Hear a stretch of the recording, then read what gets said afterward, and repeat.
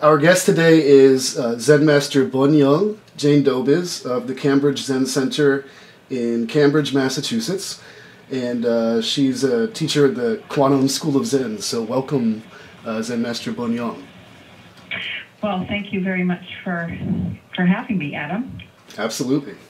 Um, so, the first question I always ask people is just uh, how did they get in, how did you get involved with Zen practice? I see that you got uh, you came sort of through the Tibetan and Vipassana traditions, but um, looks like you met uh, Zen Master Seung Sahn in 1982 or so. Mm-hmm. Um, yeah, so I think the way I got involved, I was raised Catholic, and so I was always I was in Catholic school growing up. And then around the age of 14 or 15 or so, I started feeling like I was just going through the motions, you know, please stand, please sit, please repeat, please say this, please say that. And I wasn't really getting anything out of it um, at that time, although I think I had gotten a lot more out of it than I really was aware of. You know, I learned a lot from it, from the tradition. Um, but I felt like in terms of um, me being able to access what it was I was after, I wasn't getting that. So I stopped going to church um, around that time, uh, and I had that big question inside that I think we all we all do have, which is you know you can put it a million ways, but the heart of it is, you know, what is what is this, or what am I, or what is life, what is death, and um, so that's what I was really after, and I just I didn't know there were tools of any kind that you could you could actually access that point for yourself. Mm-hmm. So I'd ask myself these questions, and then I would just um, invariably abandon pursuing it because it was so big. I didn't have a doorway into how I could address that. So I started reading books, and each book had a different, you know, different idea. So I started reading different books on psychology and Freud and I was trying to analyze my dreams and doing all this different stuff, and all the different books said different things. So when I was in college, um, at this point I was now, I think, a junior. I was about 19, 18, 19 years old. Um, I signed up for a, a, college class. It was called The Psychology of the Zen Experience, and uh, it was taught by Professor Bob Gussner and the first book that we were given was uh, Zen Mind Beginner's Mind, and that was by Suzuki Roshi. And I just randomly opened the book up, and it said, if you want to know if tea is hot or cold, you must drink it yourself. And that was, for me, the first true thing I felt that I had ever heard.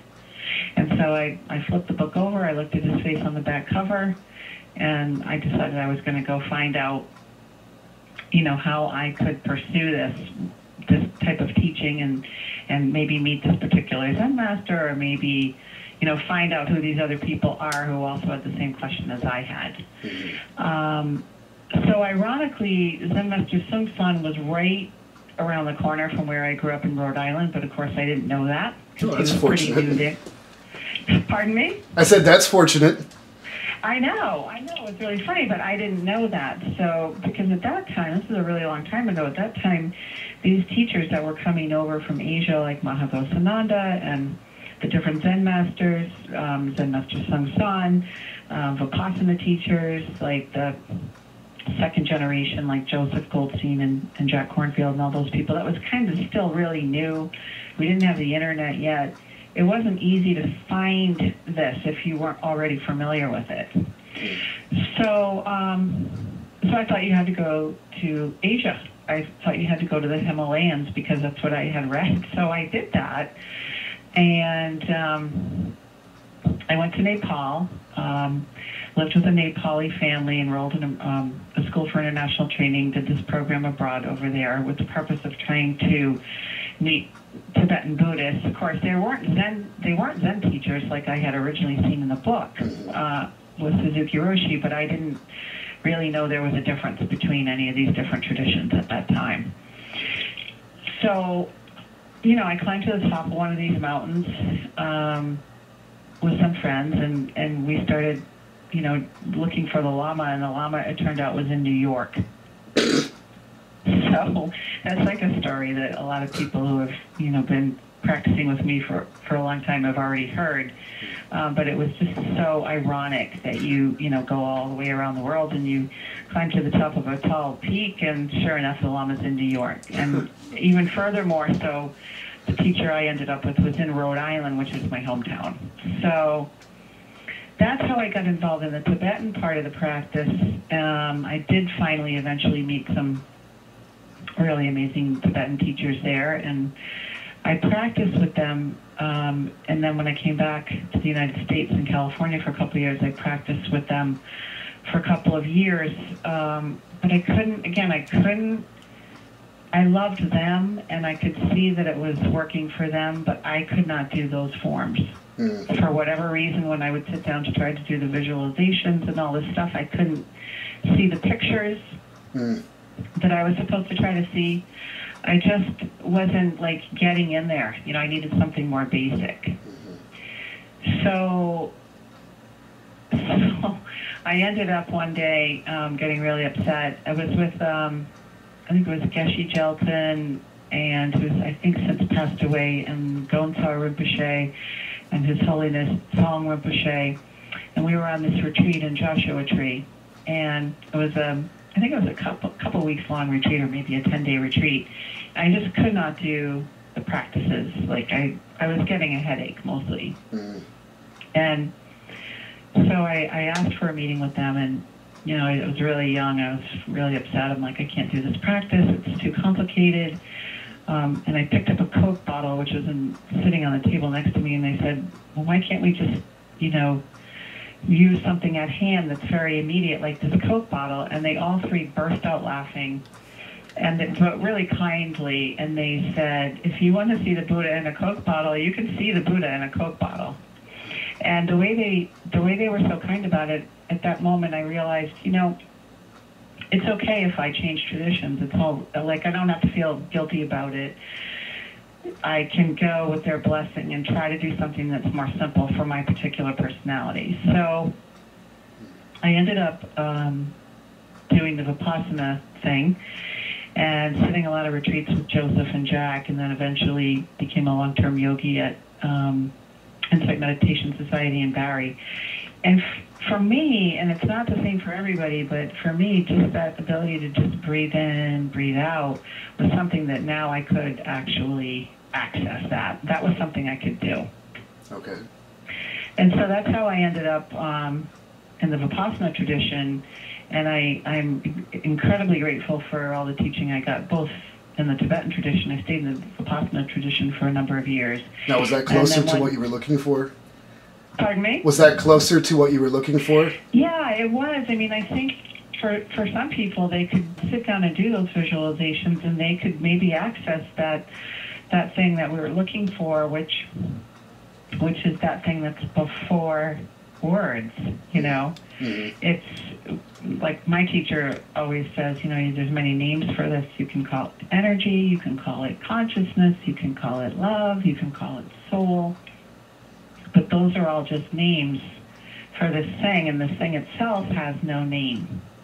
And so I was much more able to to find a doorway in through the just trying to breathe in, breathe out, and doing the insight meditation than I was able to in the other tradition.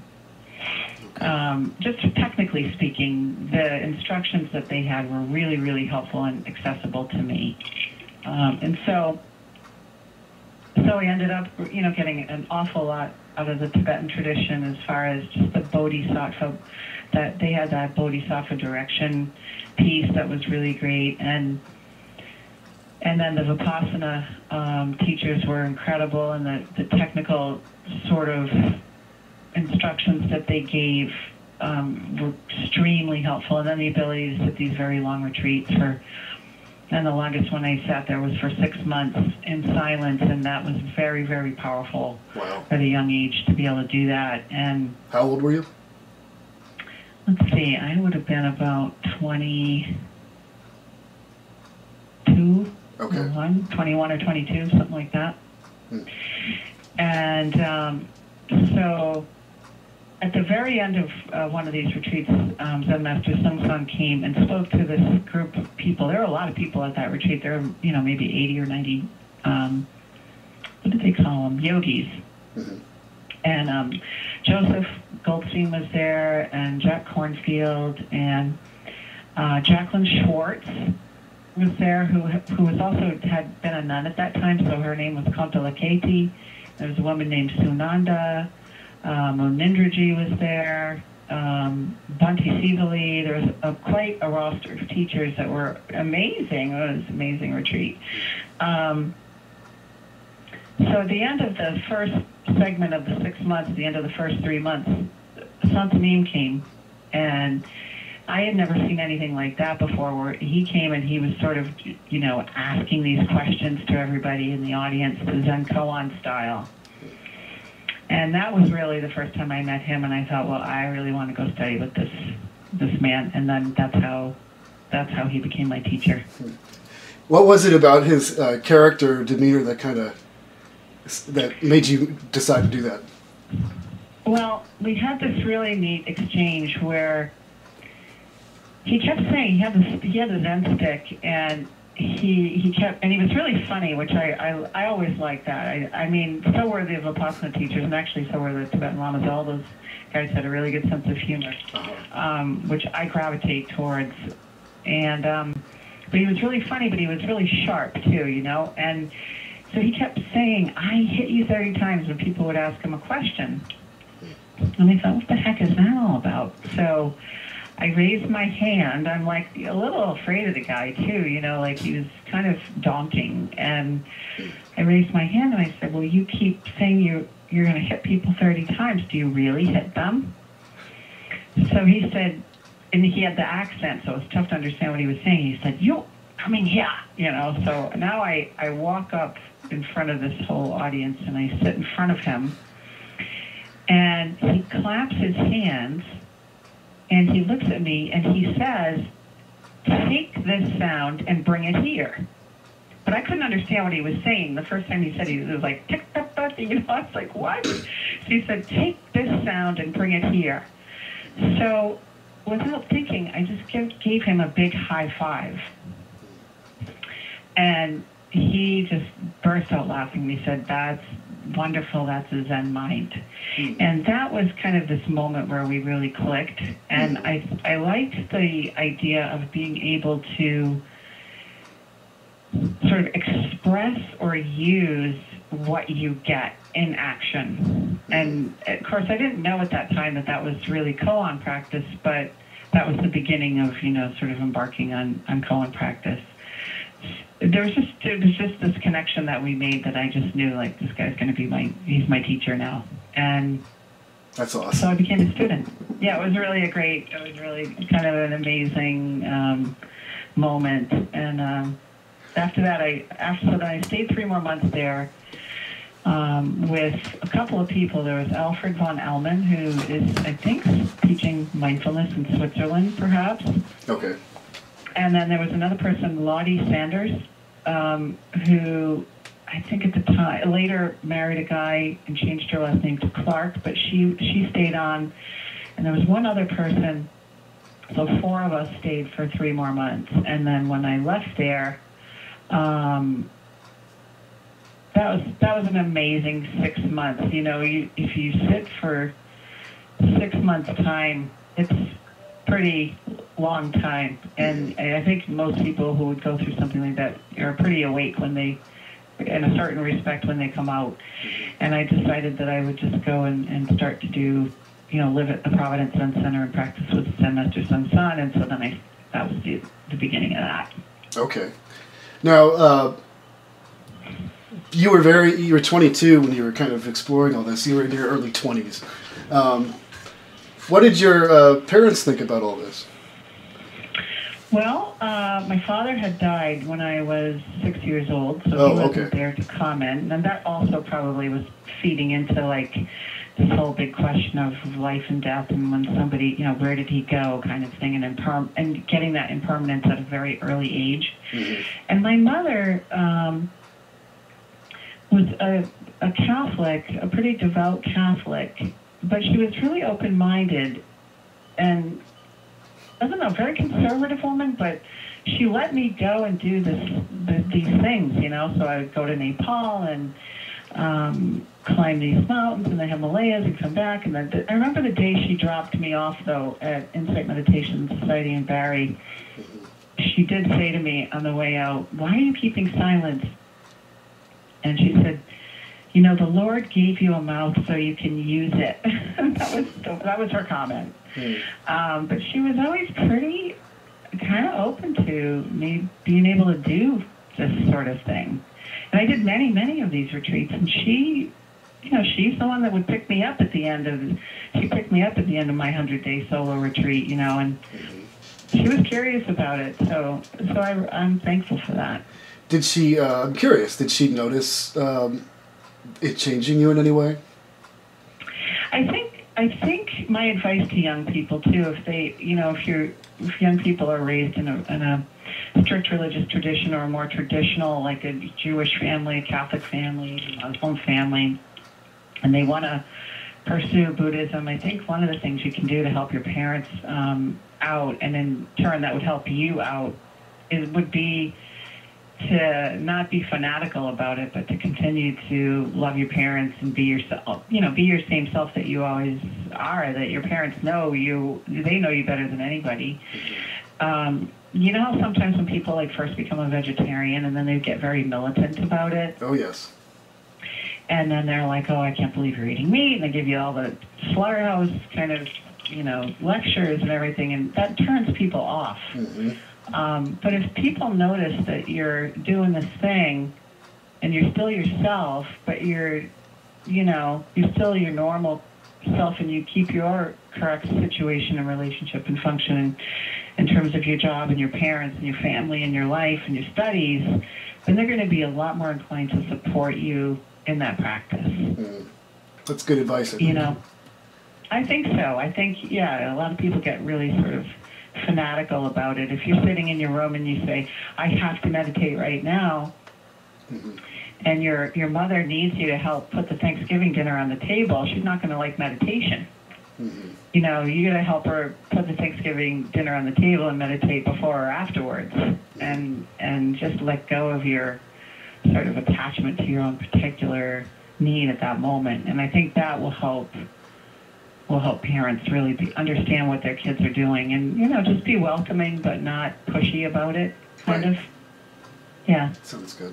Um, now, what was the practice like within the, the quantum school of Zen in contrast to the other two traditions that you you came through? Yeah, it was it was funny because the the um, Vipassana tradition, like on the long retreats, they did have a schedule, but you could do whatever you wanted. Mm-hmm. So let's say you know they'd have sitting, walking, sitting, walking, lunch, and and this sort of thing, and then sitting, walking, sitting, walking, and then you know dinner, and there'd there'd be a talk or something if you were walking and you wanted to keep walking, mm-hmm. you know, very, very slowly and very, very mindfully, you could do that. So it was, it was sort of an individual within the context of a group. And most people followed the structure of, you know, the the framework of the schedule more or less, but you know, there was a lot of variation. So your your motivation was it was more individual, I think. Even though you're in the group, you're doing your own thing. And if you wanted to stay after lunch and eat very, very slowly to finish your lunch, you could, and that sort of thing. Whereas in the Korean tradition, um, everything is very like they they call it together action. So there is none of that. Like if if you want to wake up, if wake up's at three thirty or four o'clock in the morning, everybody wakes up, and if you don't wake up, you know somebody's going to be in your room going, get up and get to the Dharma room. So then when you go to the Dharma room, you do 108 bows. That was something different. Um, they did not do in the Vipassana tradition, although the Tibetans do a lot of prostrations. Um, so you do 108 bows. That's good exercise.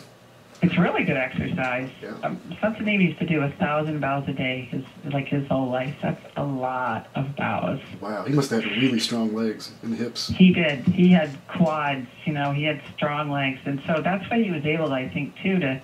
Ha- he had so much energy anyway. Just mm-hmm. he just had that. Um, he had that dharma energy, and he had his own, you know, personal energy. But I think it probably kept him really fit too. Mm-hmm. Um, so so then you you know then you have sitting, walking, sitting, chanting, and different things like that. There, was chanting, a lot more chanting in the Korean tradition too. Uh, work period, everybody had to chop wood or clean the kitchen or what have you. Um, so you have you have to really go with the group in the Korean style.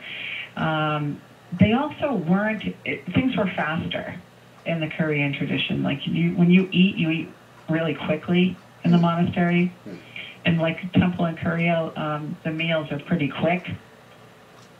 In the Vipassana tradition, people will be chewing very slowly and tasting and swallowing, you know, and and that sort of thing. Um, and then the koan practice is different, where um, they have that. So there is that emphasis on how how do you experience um, how do you express whatever it is that you're experiencing on that cushion how are you going to use it?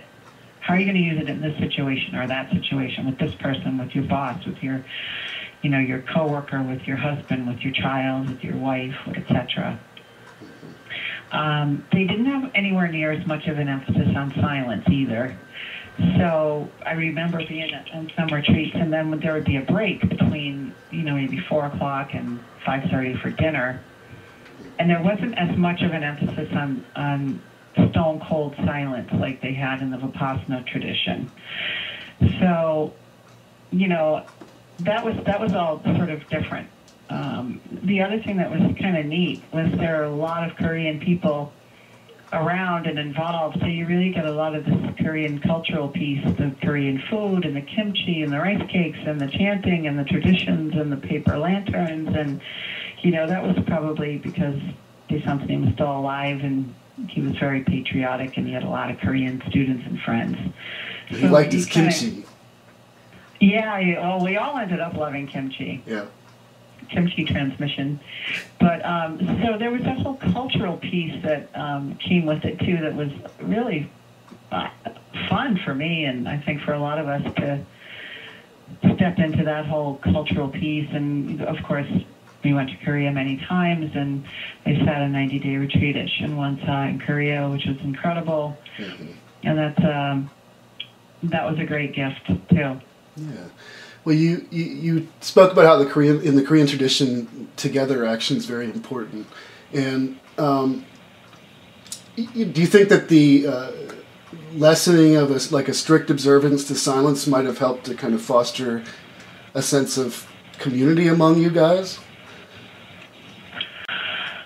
Um, yeah, I guess if I now that you mention it, Adam, I mean, there's that whole residential piece that went too with it, like where again, this is my experience going back. I don't know what what it's like now, but at that time, there we had residential Zen centers. So so you got the community by living in the Zen center. Whereas I think in the Vipassana tradition, it was more like you would go to the long retreats or the 10 day retreats, but then you would go home. Like you weren't living there year round all the time every day. Mm-hmm. Now maybe they have maybe they have more residential places now. I don't know. So I think you got a lot of that community quote together action piece also by living together with like in Cambridge Zen Center there's like 40 people living there. Wow. Um, at any given time. So we have a huge building um, that takes up you know half a city block plus two other apartment buildings um, that's full of residents at the Zen Center. Excuse me. That's a really different thing, you know. Sitting along retreat is great it, it's so great. And but getting up every single day to practice 365 days a year, you know, when you first move into a Zen center, you keep waiting for that day off, and it just never comes. Um, because it's every day and every night, and but you're doing it in the context of your job, and maybe your schoolwork or whatever it is that you you may do. So you have this structure of practice that's built into your daily life that's a little bit well it's community based if you're living in a zen center okay. One moment. I got some people outside of my window and i just want to let them know that i need a little bit more quiet. So one moment. Okay. Okay i'm sorry. I'll, okay. I'll edit that out. People are doing the gutters. Um, Okay, so. That time of year. Yeah, Sorry, I got a little distracted there too, so I didn't hear the end of that. Um, um, so you, you mentioned too that that in uh, the Korean tradition that uh, eating or consuming food is real quick. Do you guys have your own version of sort of uh, oryoki?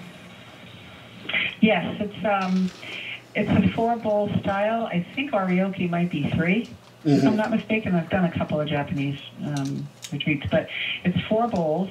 Uh, it's incredibly efficient.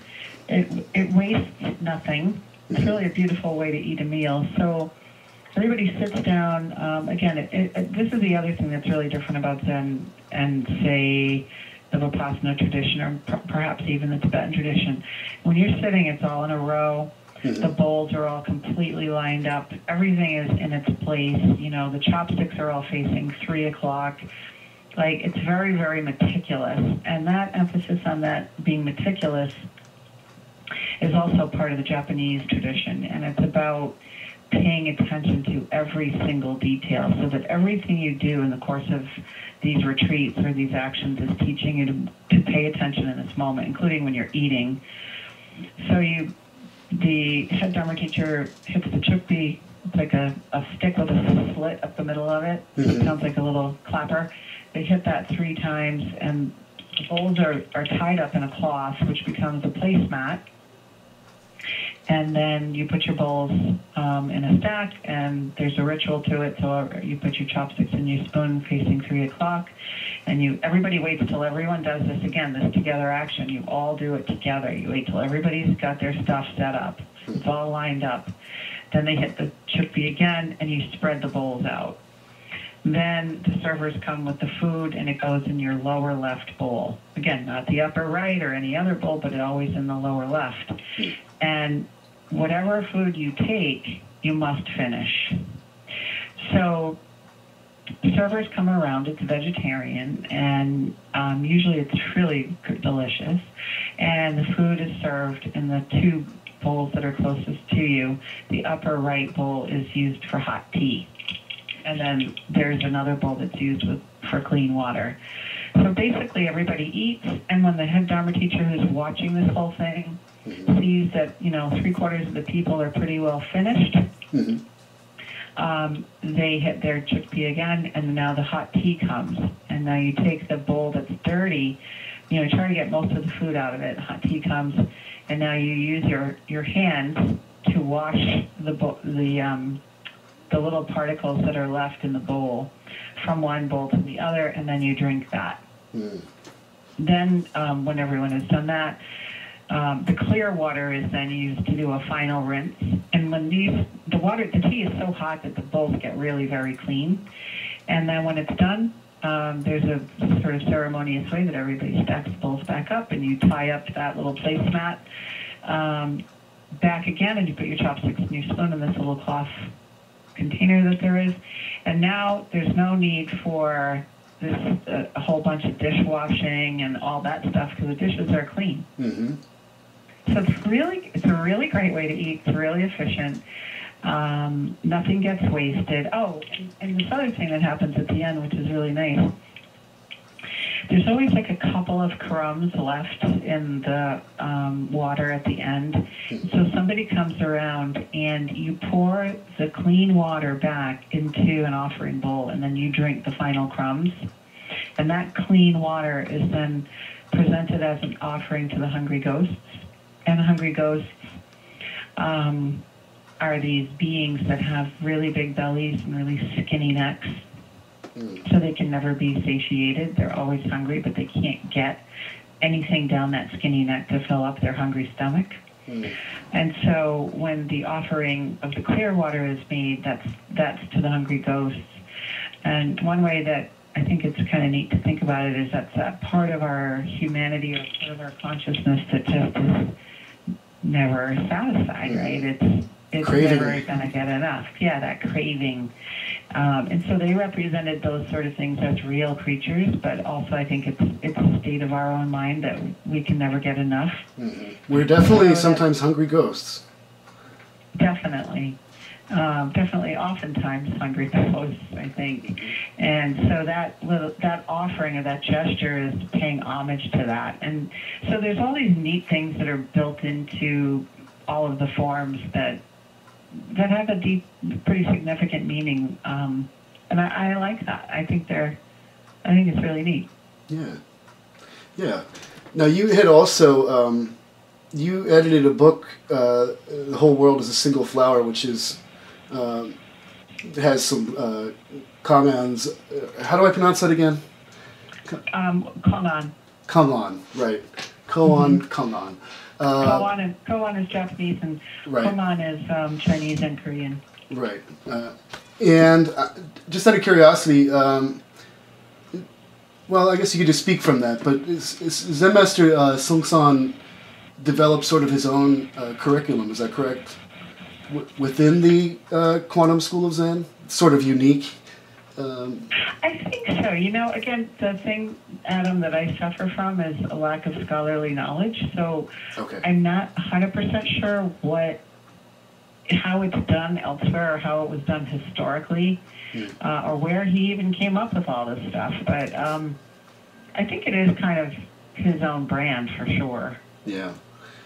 Okay. Yeah. Um, and also, I was wondering if you could maybe share. Uh, you talked about first your first uh, meeting with him, but um, are there any? Uh, is there like one memory that stands out to you uh, involving Seung Sahn that you'd like to share with us? Yeah, there is, and I've, I've, you know, I've said the story a million times too. So, um, but it was the first interview that I formal Zen koan interview that I had with him Although there's so many memories, but the, the overwhelming one is his, just his huge um, direction. You know, he had this this direction that was like I've never met anyone that had a direction like that. Maybe the Dalai Lama, you know, or someone like that that has this just this every part of what they do every day is for every, for all beings. You know, it's really rare to come across that, and he really had that. So so my first interview, it was a 90 day, another 90 day Kyol Che retreat, but this time it was in the quantum school tradition.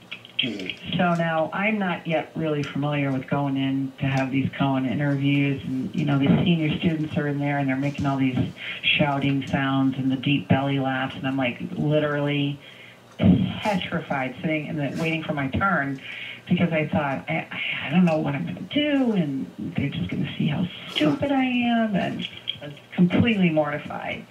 And, you know, there's that Zen smugness that can people can sometimes get that you're like, oh, they know something I don't, or mm-hmm. whatever. So, so then it's my turn, and I go in, and I'm just really a nervous wreck. And I go in, and I bow, and I sit in front of him, and there he is. And he's got like the other thing about him, he's got the, these eyes. They're just so on fire all the time. Like there's a brightness there. And um, big smile. And he says, Good morning. And I said, Good morning, you know. And he said, Do you have a question? I was completely speechless, could not speak, could barely like stop shaking. So he said, Do you have a question? I just shook my head no. And he said, No question. He said, I have a question for you. Why did you come and sit 90 days of Kyol Che? And I said, because I want to. he started laughing. He's laughing and he goes, that's a number one bad answer.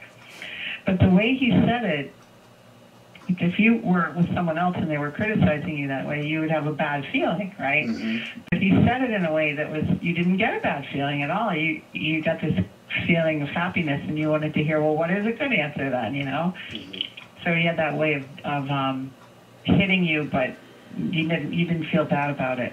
So it was more like kind of exciting.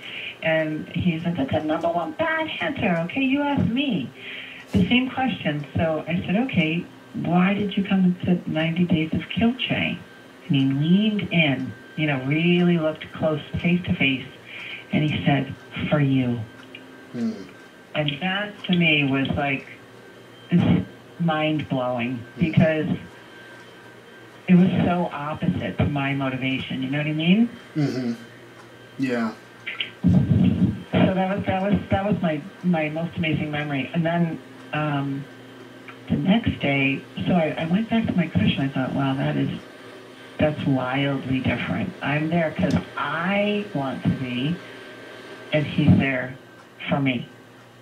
So the next day I go in, and I'm now waiting for what I think is going to be a real koan, like some kind of what's the sound of one hand clapping, or one of these things that I had heard of. And again, he asked me, Do you have a question? No. I have a question for you. What is it? Why do you come and sit 90 days of Kyol Che? He was always all about the why. Always. Never as much about the how or the, you know, always why. That was his thing. So I, stu- I stutter out, I say, for you, right? And he says, wonderful, correct, that's a good answer, you know. And so you feel good about yourself for a second, you leave and you return to your seat, and then you think, well, actually, that's not true. I, Mm. I didn't come here for all beings. I wish I could say that I had, but I didn't. Mhm. Um, but that was the that was the first two interviews, and then he went traveling, and someone else led the the 90 day retreat, and he came back at the very end of it. We did interviews again, and I thought now he's going to ask me the real question. He comes back in. He goes, "Good morning. You did 90 days. That's wonderful. Do you have a question? No. I have a question for you. What is it? Why did you sit 90 days of Kyol Che? And that time I looked at him, I said, for you. And that time it was a little bit more mine, you know, mm-hmm. and I think that's how he teaches. So, so it's like you grow into something. Mm-hmm. He was he was steering you and pointing you. Pardon me? He was steering and pointing you in a particular direction. It sounds like. Well, I think he was emphasizing like when you sit when you sit for 90 days, you realize this whole you and me, I and other thing is is non-existent, mm-hmm. and so to to sit there to get something for oneself becomes irrelevant. And it's although I I would say we grow into it because I don't think any of us is always only for you mind. You know, I wish I wish we could say that we were, but I know for myself, I certainly I, I, I don't live in that place all the time. I want to. I wish I could, but and I, that's what I aspire to. But it's not always there. And so I think though, if you have that as your direction, um, then over the course of your life, and maybe lifetime after lifetime, that becomes more and more yours. Yeah, it's a good practice. It, but you, you definitely do have to practice self care. You know. You definitely do. You're absolutely right. It's that that's the fine balance, and I I find. I think a lot of Zen students, myself included, we're, we are susceptible to that hair shirt mentality and being hard on ourselves and beating ourselves up a little bit because it is such a like incredible discipline. There is so much that you you give up, and so I think we we're hard on ourselves, and we have to also learn how to you know, celebrate and have fun and have joy and all that too. Absolutely. Yeah. Absolutely. and you're seeing that trend is like hugely popular everywhere now, like across all over the place. Yes. You know, yeah. Um, did uh, Zen Master Seung Sahn have an off switch? If he did, I never saw it ever. Really? Like never. And I spent a lot of time with him. He, I, I never, I never heard him complain, never once. Which is really amazing. Like, you know, sometimes we, like everybody's like, oh, Mhm. God, I gotta drive over to this other town. It's late. You guys are gonna talk, and these people are here. And they want to see me. I'm tired. Never once That's amazing. amazing. And he never was like, he was always the teacher. He wasn't your friend. You know, he, he wasn't your buddy.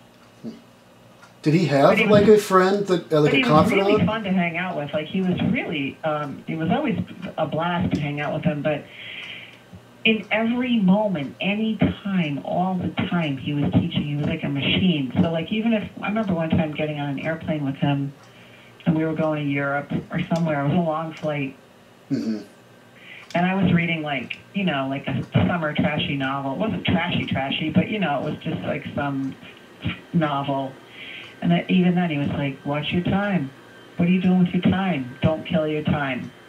And like anything like that. Now, again, it goes back to what you're saying about self care and all that. And it's not a crime to read a book, Mhm. but he he was just always doing that.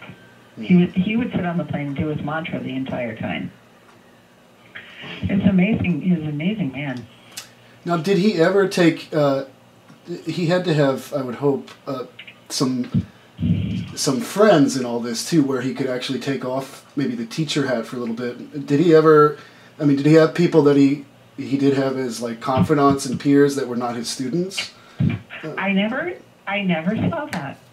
Interesting. It's really funny. Like even if like he- had a lot of friends that were Korean friends that he thoroughly enjoyed. hmm um, be, because as, as I said, he's incredibly patriotic. He loves Korea, loved Korea and Korean people. And but even like these people were his friends and countrymen, and he had known them growing up and stuff. But when you went to their house for dinner or something, it was always like this dignitary is visiting and they would laugh and they would joke and have fun but it was always like in this way that they're paying homage to him and he's definitely sitting in some sort of a teacher seat Hmm.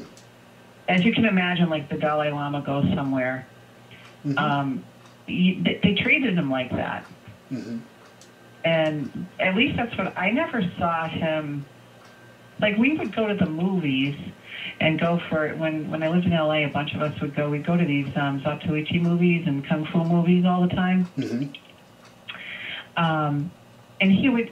We really get to hang out with him in a casual way, and we go to restaurants. And he he was a great lover of people, so we'd always go out to breakfast or lunch or Chinatown or Little Tokyo, and he loved to shop and but he was always in that role. He was never, he was fun, but he was never like, he was still teaching all the time. I can't describe it.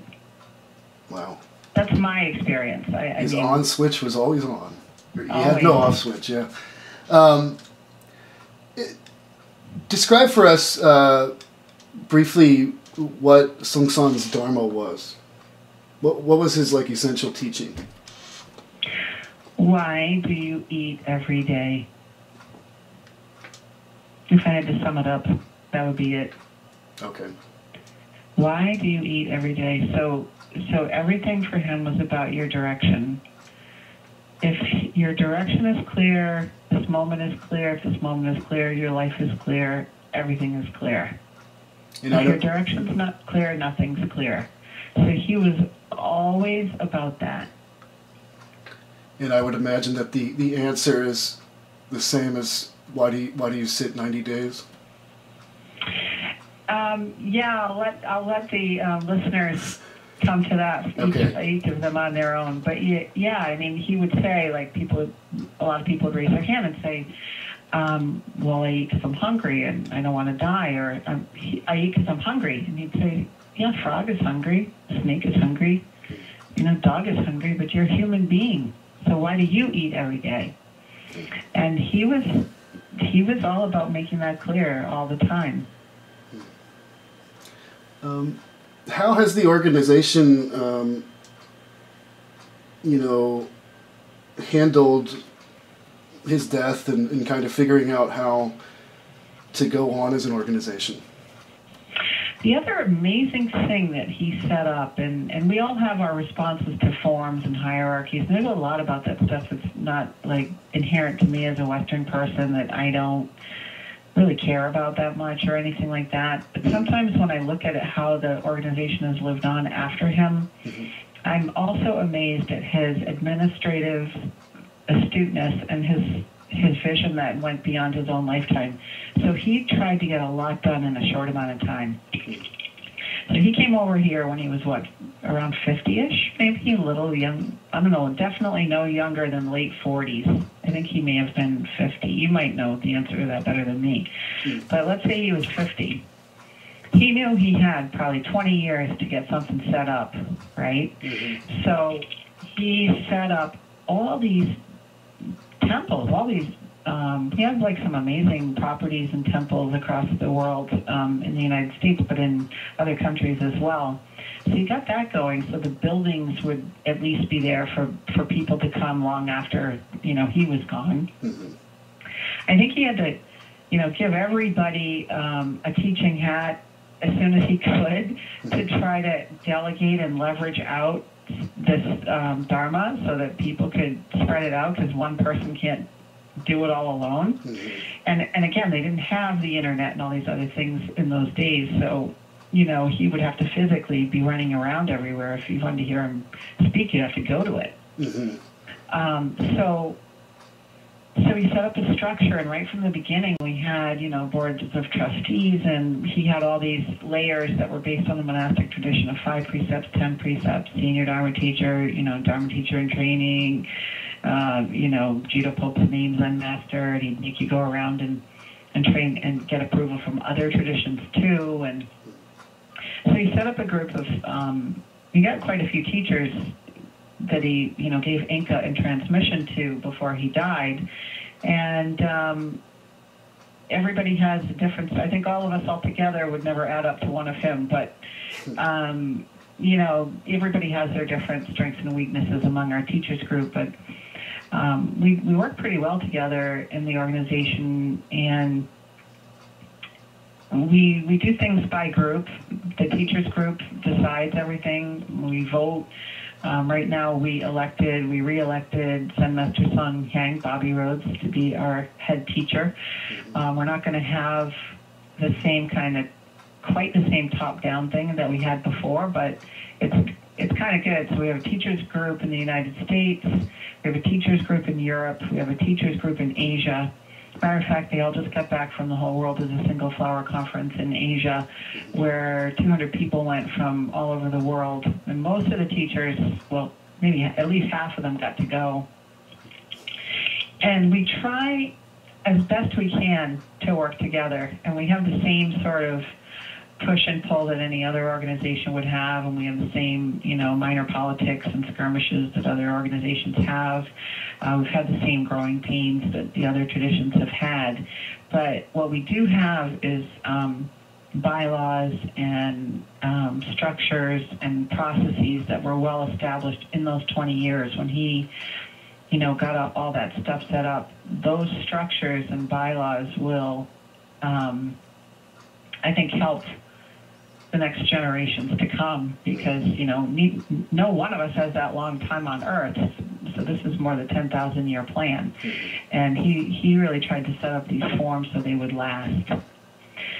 So sometimes when I sit in these you know different long ceremonies and things and I, I sometimes think oh, you know this is a lot of hoopla. Why do we have to have all this stuff? And you know I don't need I don't I don't mean to say that we even have to have it but for whatever reason people, those forms, like those formal meals and the bowing and the robes, it, it helps a lot of people to plug into something that that's bigger than any one of them, you know. So um, I think our organization has done pretty well. Um, one of the things that we struggle with, we're not I think not quite as popular as we'd like to be. As far as the numbers of people who come to the retreats. And I think our forms can put off a lot of people too. Mm.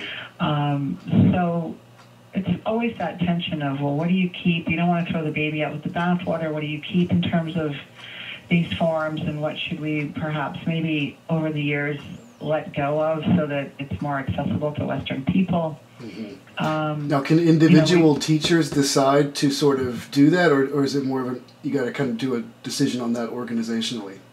Organizationally, okay. I mean, there's small things you could do, like um, you know, one of the changes that someone made recently that this was sort of a big deal was on one of the breaks in the long retreats, you could do stretching and yoga mm. for half an hour. So that was like a big deal. Um, and it sounds like ridiculously small if you think about it, but if any teacher um, who becomes a Zen master in our school wants to go off and do something else completely, they can with the blessing of the school.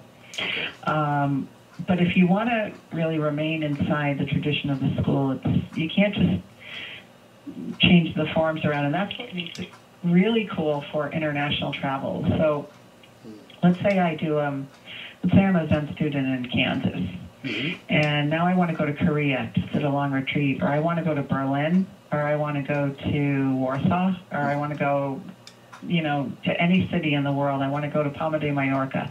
I can walk into a Quantum Zen school, Zen center. It's the same exact forms, the same exact everything everywhere.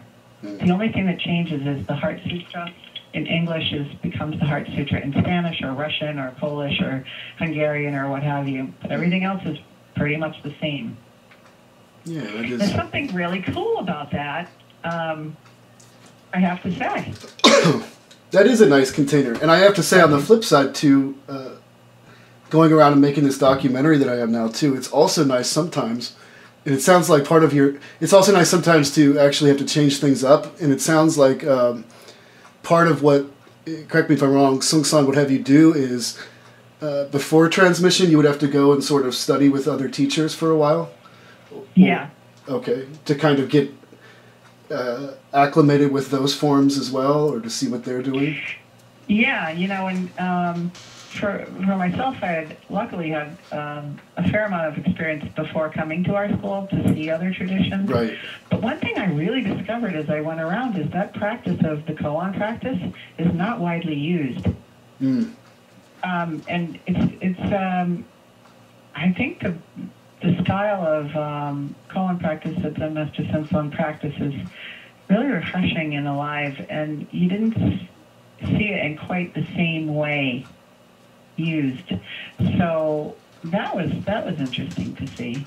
Yeah, I definitely have heard. Um, I remember I talked to James Ford once, and you know he's trained in the Harada Yasutani uh, Koan curriculum, and he said Uh-huh. that sometimes he would get uh, uh, Quantum school students, uh, and he, he would just make the observation that it was th- they were two very different traditions uh, that Yeah, that people were coming at things from.